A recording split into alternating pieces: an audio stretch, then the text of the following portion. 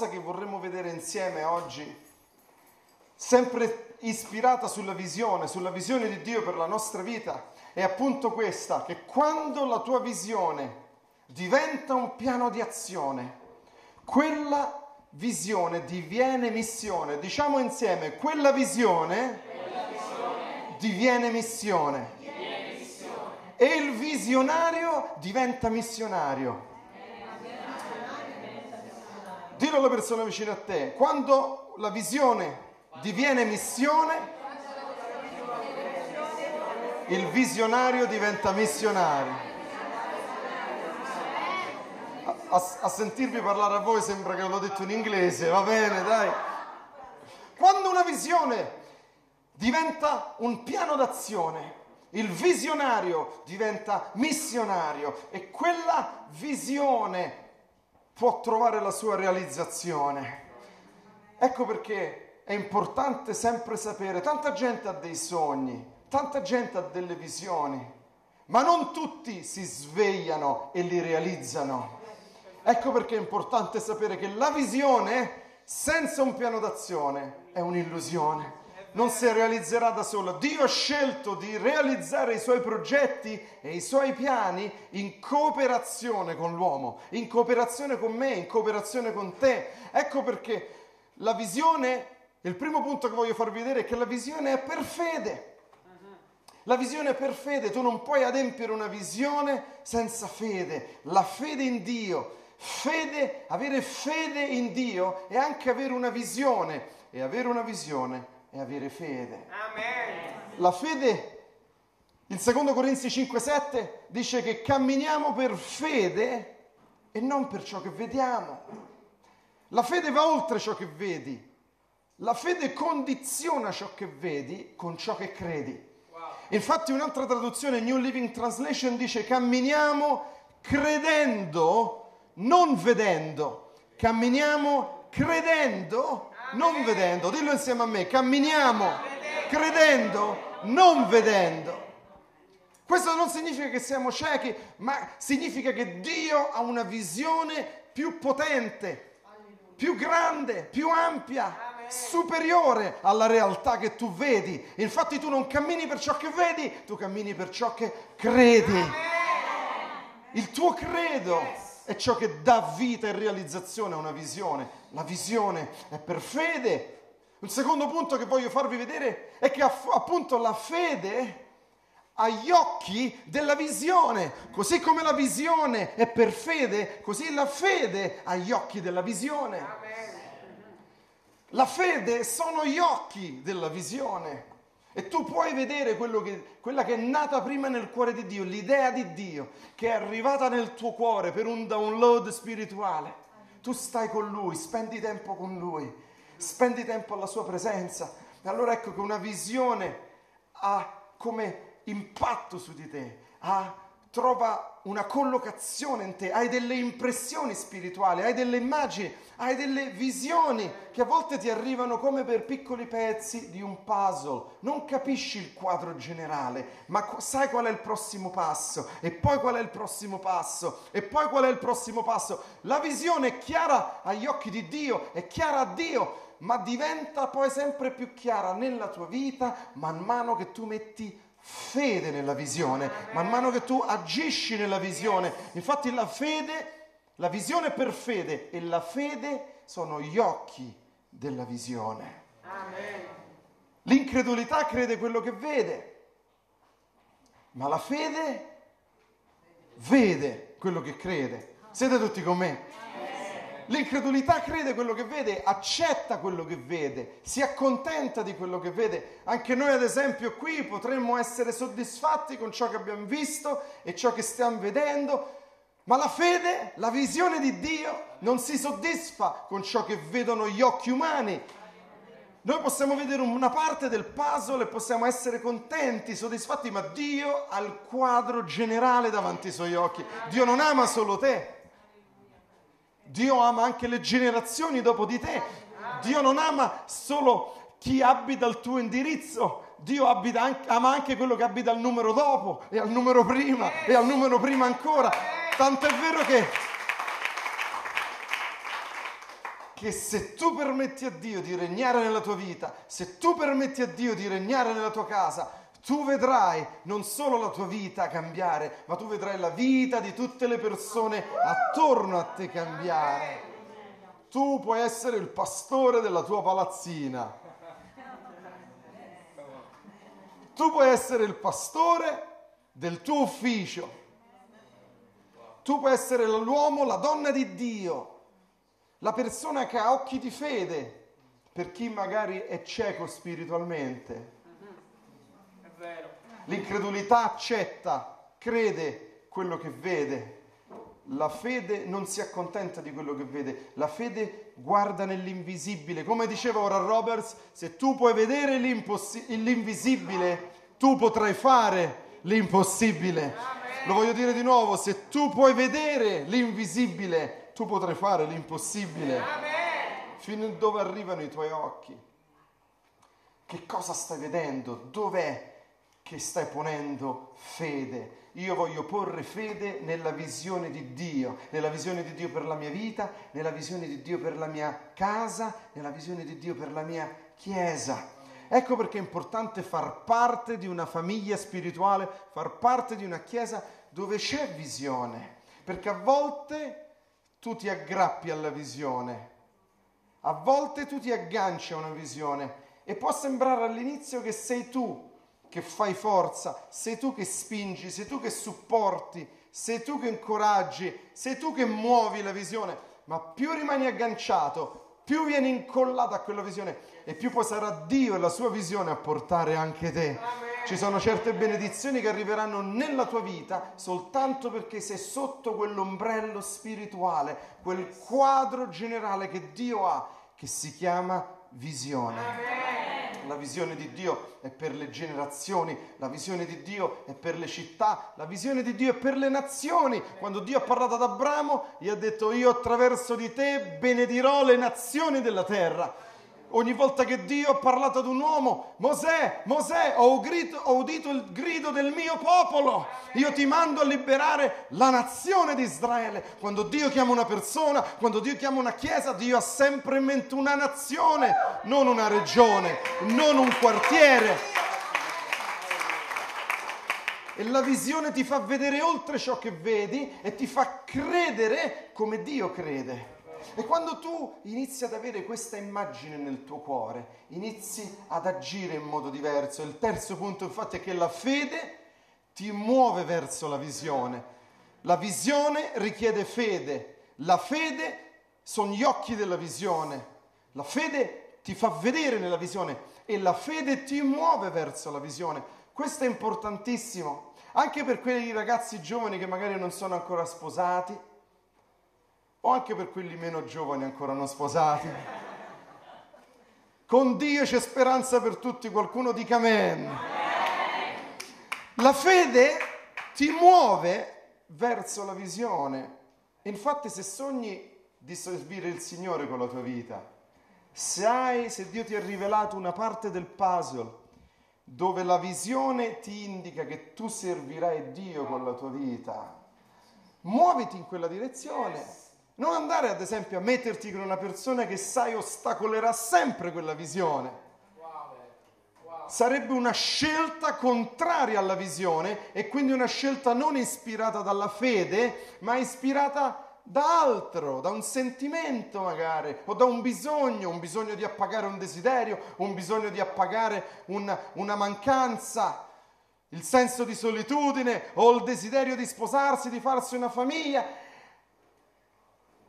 è meglio essere soli e felici in fede che in due infelici nell'incredulità.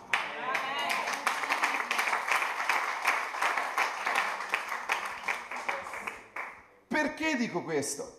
Perché molto spesso, quando tu, e, e, apro una parentesi, questo è gratis, va bene?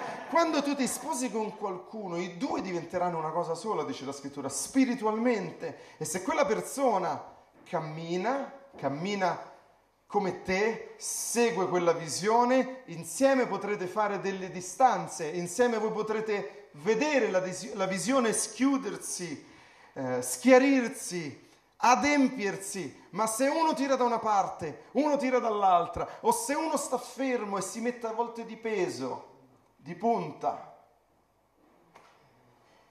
tu farai una grande fatica e poi magari puoi dire Signore ma perché? E il Signore ti dice perché non hai fatto una scelta di fede in accordo alla visione e dove non ti muovi con la visione ti stai muovendo verso la divisione. Wow. Dove non ti muovi per la visione di Dio ti stai muovendo per la tua o quella di qualcun altro e Dio benedice sempre la sua visione. God's will, God's bill la volontà di Dio, il conto di Dio, il progetto di Dio. E a volte uno dei, dei, prezzi più alti che stiamo pagando nella nostra vita lo stiamo pagando perché anziché muoverci per fede verso la visione, stiamo combattendo la visione. Ma Dio e i suoi modi non potranno mai cambiare solo per non offenderti. Alleluia mi sono fatto un paio di nemici qua con questa frase. Ma ve la dico lo stesso, dai. La speranza dice, un giorno sarà mio, un giorno farò questo per il Signore, un giorno eh, Dio aggiusterà le cose, un giorno lei cambierà, un giorno io darò, un giorno io pregherò. La speranza lo dice, ma la fede dice è mio adesso, lo faccio adesso, agisco adesso. La fede chiama le cose che non sono come se fossero. La fede vede le cose che non sono come se fossero. La fede parla in modo diverso. La fede ha un suono. Ha un suono tutto particolare. E tu puoi capire da una persona quando ci sta insieme se sta in fede ascoltando il suono che esce dalle sue labbra. La fede ha un suono, la fede ha un profumo. Tu puoi capire se una persona è in fede se sta emanando quando parla con te il profumo di Cristo oppure se mentre sta parlando con te c'è stanchezza, tristezza, morte. Che profumo stai mandando? Tutto dipende dalla fede, tutto dipende dalla scelta che stai facendo, dalla visione che stai seguendo. La visione ti farà fare le scelte giuste. La fi- visione ti muoverà verso il piano di Dio, perché il piano di Dio è la visione.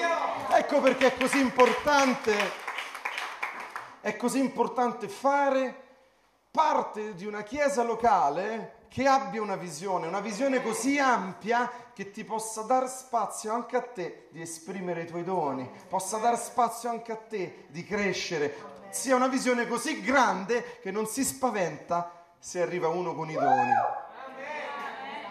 Una visione così grande che, non, che non si spaventa se arriva una persona talentuosa, se arriva una persona con capacità. Anzi, ti dico una cosa, se, hai capacità, se hai talenti, mettili a disposizione in questa casa, mettili a disposizione del Signore. Se tu hai dei talenti, dei tesori e non li stai mettendo a disposizione del Signore, stai derubando la Chiesa di un dono che Dio ti ha fatto per la Chiesa. Se Dio ha messo una grazia sulla tua vita particolare e tu la trattieni, vuoi per paura, vuoi perché hai paura di non essere accettato, approvato, stai derubando te stesso della tua soddisfazione, perché quando fluisci nei tuoi doni sei più felice, sei più soddisfatto e stai derubando la Chiesa perché nessuno ha la grazia che tu hai, nessuno saprà, sarà funzionare come tu puoi funzionare in quella misura di grazia, in quel ruolo e tu stai derubando te e la Chiesa di quella grazia che Dio ti ha concesso. Quanto è importante una visione, quanto è importante sentirsi parte di una visione. Quando, quando hai la visione di Dio, quando sei parte di una visione che viene da Dio, ti svegli la mattina con entusiasmo. Ti svegli la mattina che già sai cosa fare, forse è una torta, ma è una torta in accordo alla visione, è una torta che coopera per la visione. Forse forse è semplicemente guidare fin da qualche parte, come abbiamo fatto ieri con Enzo, siamo andati fin dopo Firenze e poi siamo tornati, andate e ritorno, siamo partiti alle sei e mezza di mattina, siamo tornati alle tre e mezza di pomeriggio, semplicemente perché la visione richiede un pianoforte migliore e l'abbiamo trovato lì. L'abbiamo trovato lì in offerta, l'abbiamo trovato lì sono i soldi dell'opera di Dio, perché non, non, provare a risparmiare? Perché non mettersi in macchina, dare un giorno al Signore, fare dei chilometri per il Signore? La visione è qualcuno magari che, che viene due ore prima, yes. che, che, magari suda, si impegna, si sporca, a volte si, si acciacca un'unghia, a volte va via tardi perché il giorno dopo si deve svegliare anche presto, ma va via tardi perché suda, fatica, prende una cassa in mano, sposta un microfono, mette a posto. Ma perché lo fa? Perché fa parte di una visione, perché si sente parte di una visione. Perché la visione all'inizio ha bisogno del tuo aiuto, ma più tu aiuti e più ti renderai conto che sei tu che hai bisogno della visione. All'inizio tu la porti, dopo un po' è lei che ti porta. Alleluia. E Dio cerca persone che abbiano fede per vedere la visione, fede per udire anche il suono della visione, per udire il bisogno della visione. Quante volte Dio, io sono sicuro che già qua, in questa stanza, o chi ci sta seguendo da casa o in televisione, sono sicuro che già a volte Dio ha provato a parlarti su un aspetto della visione. Ha provato a parlarti, a convincerti in qualcosa, ha provato a farti sentire magari un bisogno, ha provato a farti a mettere un po' dei suoi pesi sulle tue spalle. E magari tu forse come io provi a resistere e dire no, ma no Signore, manda lui, ma no Signore, lei è più brava, ma no, se, se Dio sta bussando alla porta della tua vita, se Dio decide di fidarsi di te, fai una bella cosa, fidati di Dio, fidati di Dio, non dire no a Dio. Se Dio ti sta dicendo questa cosa tu la puoi fare, questa cosa tu la puoi comprare, questa cosa tu la puoi portare, non dire di no a Dio, perché ho imparato una cosa, che tutto ciò che Dio mi chiede quando Dio mi chiede qualcosa in forma di seme, è perché ha sempre in mente un raccolto per me. A volte un seme può essere il tuo tempo. 3T, siete pronti? Il seme può essere il tuo tempo, il seme può essere il tuo talento, il seme può essere il tuo tesoro. E non a caso sono le tre cose che cerchiamo di nascondere sempre di più. Talento, il tempo i tesori. Ho imparato una cosa, quando io apro il mio tempo a Dio, Dio benedice il mio tempo e riesco a fare le cose migliori in meno tempo. Quello che magari per un'altra persona ci possono volere 15 giorni, Dio te lo può dare a te in due minuti. Vi ricordate la storia di quando Pietro andò a pescare? Gesù gli disse lancia all'altro lato. Gli studiosi hanno determinato che ciò che lui ha preso in due minuti equivaleva a 15 giorni di pesca. Quello che tu non puoi fare in 15 giorni, quando apri il tuo tempo a Dio, Dio lo può fare per te in due minuti.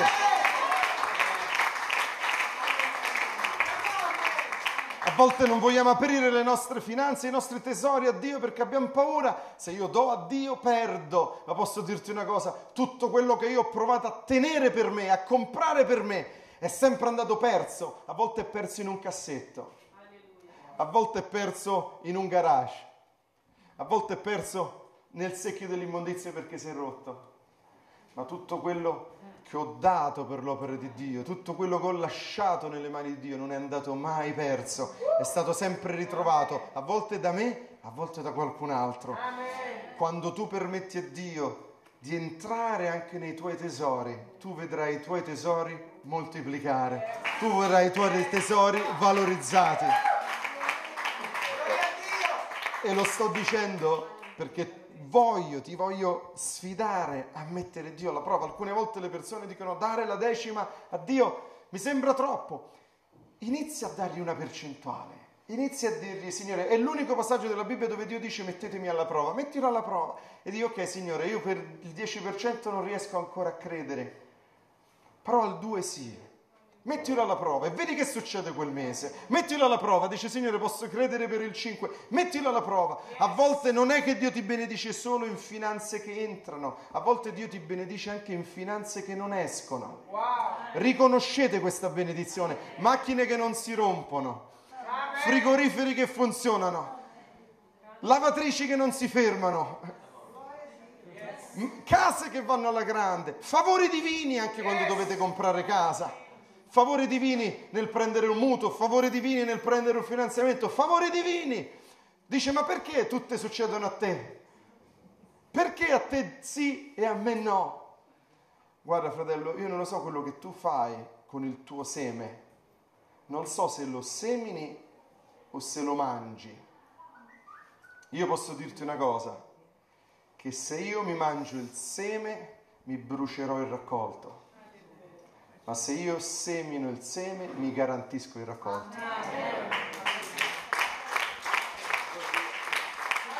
È così Diego. Prima di concludere voglio invitare un attimo Diego a prendersi alcuni minuti perché Diego è un esempio di fede, è un esempio di una persona che vive per fede, che ha fatto grandi passi per il Signore. Amen. Gloria a Dio. Abbiamo un Dio meraviglioso e io volevo solo raccontare brevemente di quello che ho sperimentato nella mia vita.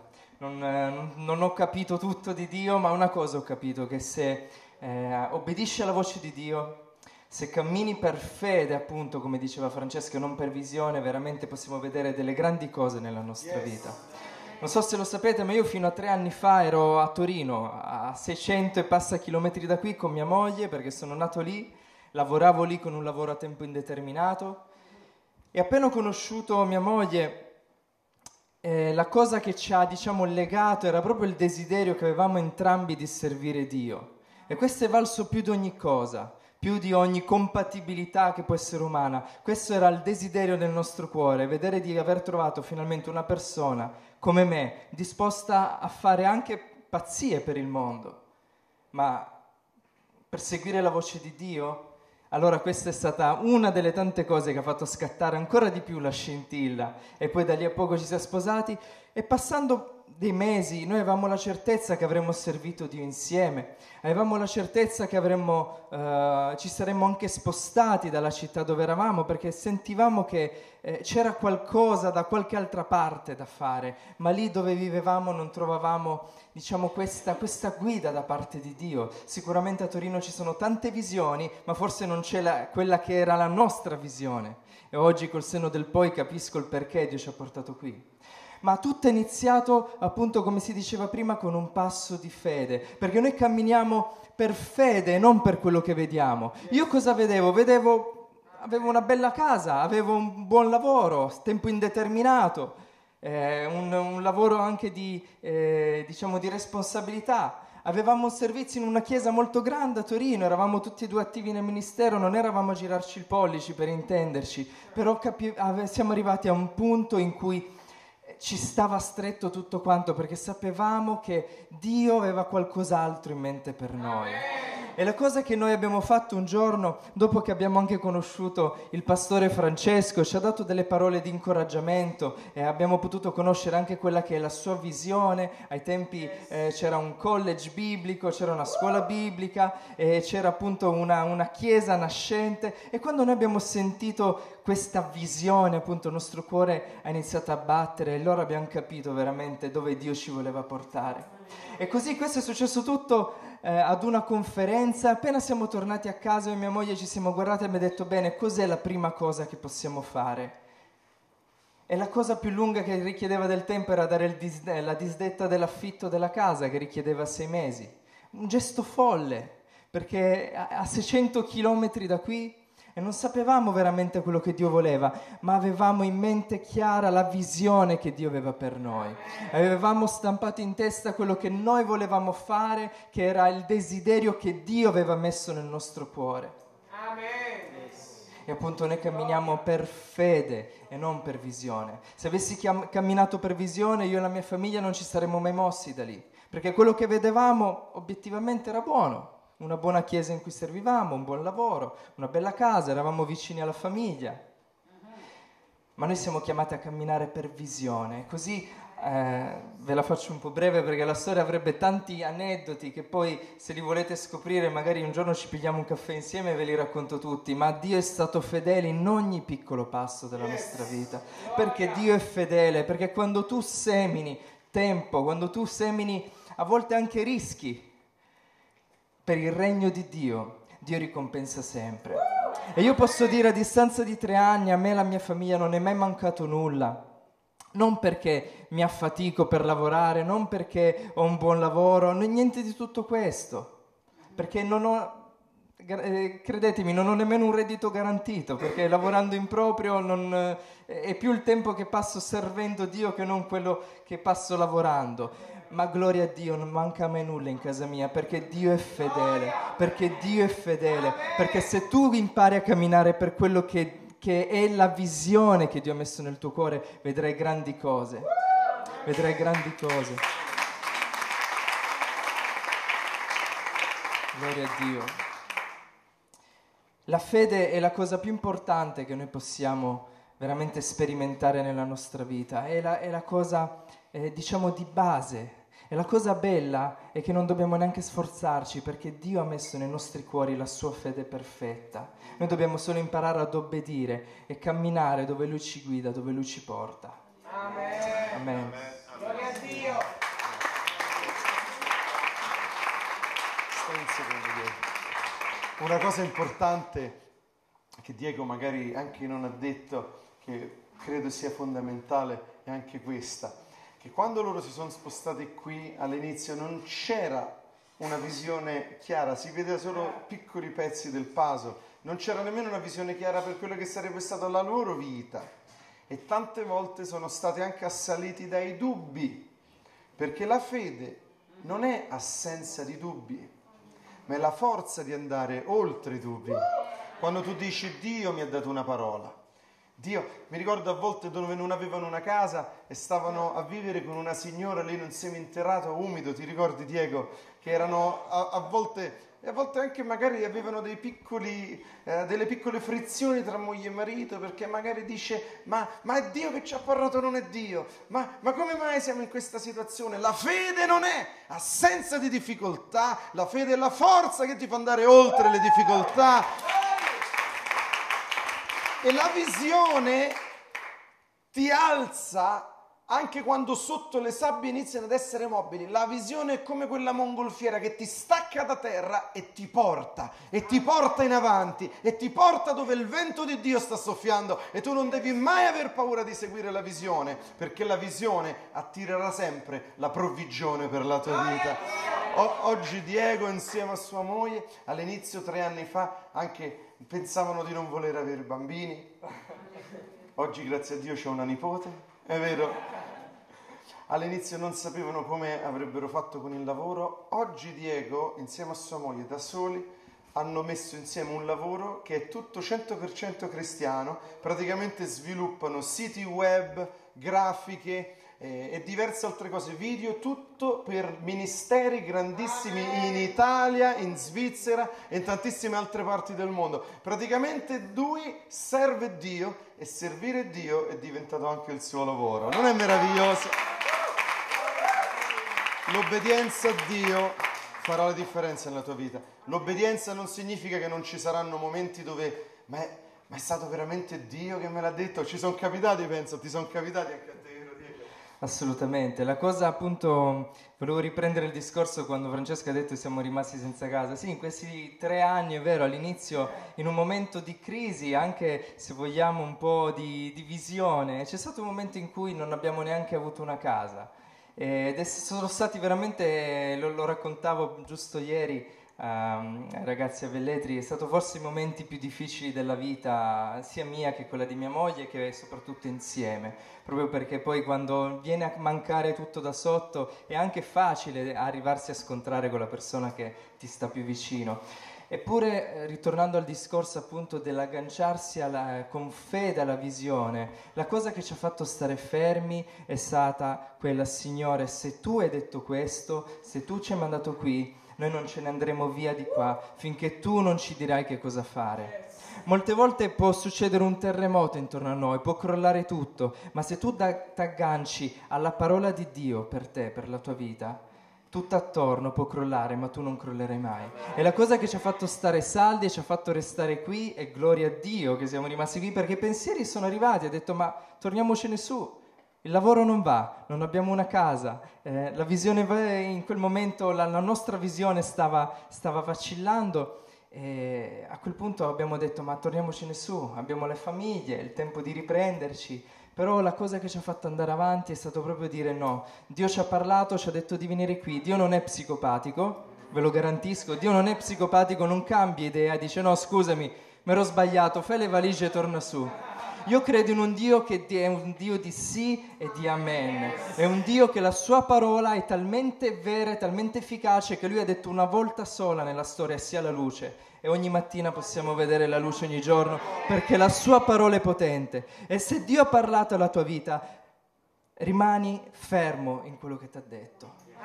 E noi a distanza di tempo possiamo dire che quel, quei pochi mesi, quel frangente in cui tutto è crollato, l'ancora della nostra salvezza è stato restare attaccati alla parola di Dio. Perché superato quella tormenta abbiamo iniziato a vedere il favore divino, abbiamo iniziato a vedere la casa che è arrivata, una bella casa grande che avevamo. Eh, ora, grazie a Dio, ancora più bella la casa che abbiamo, gloria a Dio. Abbiamo iniziato a vedere come il lavoro iniziava a procedere e soprattutto, gloria a Dio, oggi posso dire che anche ho la benedizione di servire in una visione dove eh, non, non voglio dare il 100% ma di più ancora se possibile. Perché noi non stiamo servendo Dio per una chiesa, noi stiamo servendo Dio per una città, per una nazione, come diceva prima Francesco. Amen. Grazie Diego, grazie. Gloria. C'è una frase che ho preparato per voi, che voglio vedere in conclusione, che ha detto Cristoforo Colombo. Siete pronti? Non potrai mai attraversare l'oceano se non avrai il coraggio di perdere di vista la costa. Detto da lui, non potrai mai attraversare l'oceano se non avrai il coraggio di perdere vista la costa. La costa a volte è ciò che conosci. Lasciare la costa ti costa. A volte la costa è ciò che conosci, è ciò che è facile, è la routine, è ciò a cui sei abituato, anche a livello spirituale. Ma Dio non ti chiama a stare a un livello di fede per tutta la vita.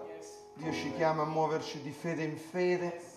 Dio non ci chiama a fare qualcosa per Lui e farlo per sempre. Dio ci chiama ad allargare i nostri orizzonti continuamente. L'unica cosa che Lui ti chiede è di essergli fedele. E fedele a volte significa fare il passo 1, e poi il passo 2, e poi il passo 3, e poi il passo 4, senza mai stancarsi. E so che alcuni magari qui possono aver detto, Signore, ma ci ho provato e non è andata. Ho fatto tanti passi un tempo per te, ma ora non mi sento più di farli. Ma voglio dirti una cosa, con il Signore davanti a Dio, anche se hai fallito, questo non fa di te un fallito. Con Dio fallire non significa finire. Con Dio tu puoi fallire, ma ti puoi rialzare. Con Dio tu puoi fallire, ma non devi finire. A volte una chiesa ti può aver deluso. Un ministero ti può aver deluso e questo ti può far dire non, non, ci voglio credere più, non voglio darmi più per una visione, non voglio darmi più per un'opera.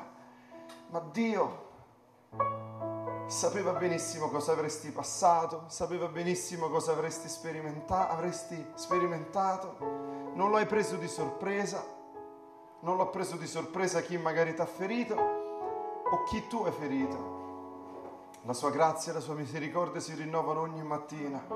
E Dio ancora oggi ti chiede, entra a far parte della mia visione, agganciati in una visione più ampia che potrebbe essere la visione della Chiesa Equippers Roma, dove tu potrai sviluppare quella tua forse visione servizievole come quella di Diego, una visione che fa tutto l'aspetto mediatico, segue tutto l'aspetto grafico, mediatico per la Chiesa e siamo un po' invidiati da tutti per Diego e sua moglie, lo vogliamo dire. In tutte le chiese equippers mi dicono, Avete le grafiche migliori.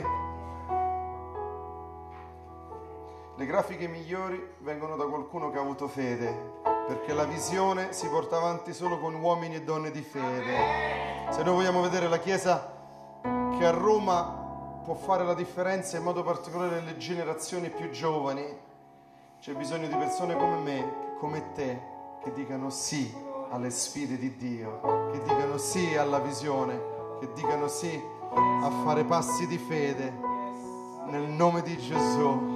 Amen e amen.